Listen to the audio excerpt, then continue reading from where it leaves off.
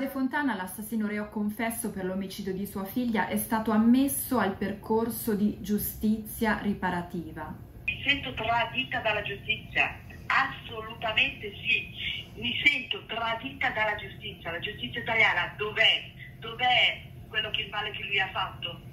A me che sono la mamma di Carol, a mio nipotino che ha sette anni. Ma che cosa?